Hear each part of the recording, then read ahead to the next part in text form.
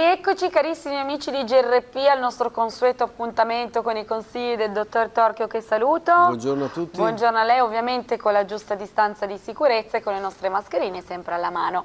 Dunque dottor Torchio con lei oggi volevo parlare di una patologia molto, in, mm, molto importante per le donne e cioè è anche comune purtroppo, e cioè l'endometriosi.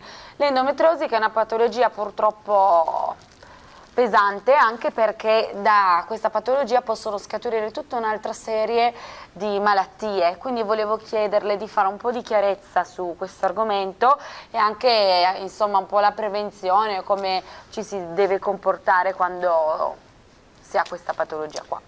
Sì, cercherò di essere molto rapido perché è un problema veramente importante per eh. la donna. Allora, l'endometriosi colpisce almeno il 6-10% della popolazione femminile intorno ai 30-40 anni, soprattutto le persone che non hanno avuto gravidanze, ed è caratterizzata dall'espansione del tessuto interno uterino, della mucosa uterina, che è la mucosa normalmente mestruale, al di fuori dell'utero.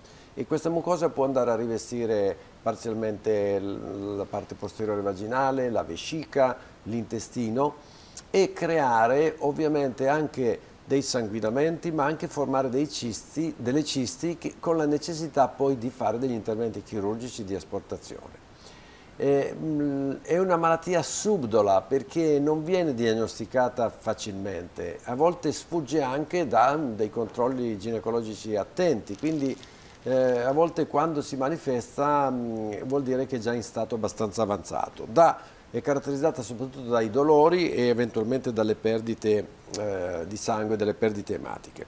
Allora ci può essere una predisposizione genetica, ma le cause non si conoscono bene. Eh, sono state anche, oltre alle alterazioni ormonali, che sono le prime implicate in questo problema, sono state anche implicate altre cose come per esempio gli interferenti ormonali presenti in tutti i cibi perché abbiamo un sacco di cibi industriali che hanno sostanze chimiche che interferiscono con i nostri ormoni.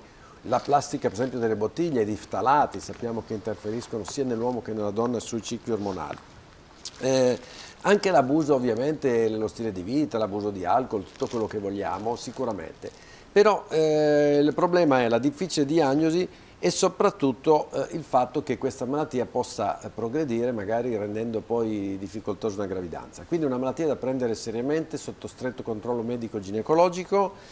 Eh, ovviamente la terapia è fondamentalmente una terapia ormonale, ma noi possiamo anche utilizzare contemporaneamente, col permesso del ginecologo, ovviamente i prodotti naturali che sono quelli che si utilizzano negli scompensi ormonali minori, nella dismenorrea, e cioè per esempio l'agnocasto, che è un'erba un che ha un'azione regolarizzante del ciclo, il rubus, il rubus che ha un effetto di diminuire le mestruazioni diciamo molto troppo abbondanti, quindi di diminuire le perdite ematiche, visto che sono una caratteristica dell'endometriosi.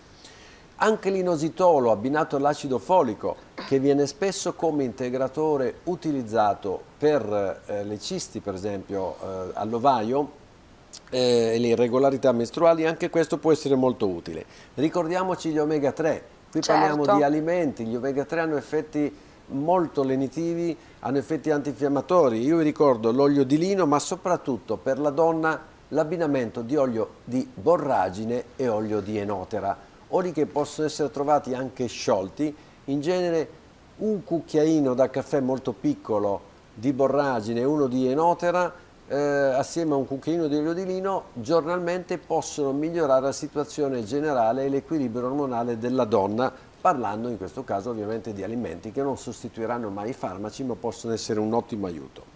Ricordiamoci che mm, nel, eh, abbiamo anche per esempio la dioscorea, la dioscorea è un'altra erba che ha un effetto eh, diciamo ormonale moderato ma che può riequilibrare questa situazione, il fieno greco, ehm, lo zinco stesso che stimola il sistema immunitario, poi abbiamo anche la curcuma che come spezia può essere utilizzata sempre in ambiente oleoso e ricordiamoci che nella dieta mettiamo pure eh, i semi.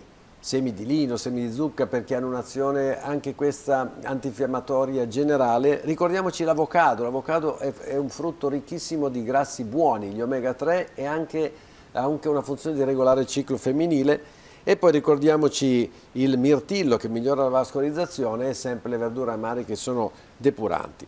Invece facciamo molta attenzione appunto a tutti gli alimenti industriali che hanno questi interferenti eh, ormonali, caffè, troppo caffè, eh, alcolici, sigarette, tutto quello che purtroppo sappiamo non è eh, una, qualcosa di... non sono amici della nostra salute. Grazie dottor Torchio per i suoi preziosissimi consigli. A casa vi ricordo che se voleste rivedere una delle nostre puntate basta andare su YouTube e digitare i consigli del dottor Torchio più il nome dell'argomento della patologia al quale siete interessati.